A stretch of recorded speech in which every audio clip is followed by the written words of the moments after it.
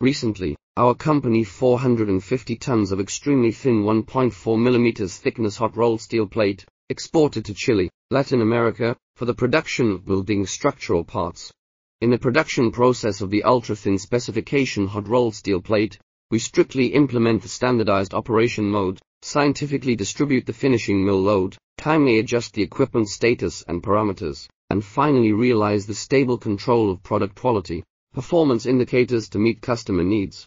If you need to buy hot rolled steel plate recently, please leave your WhatsApp or email, and note the country. We will send you the latest product specifications and price list.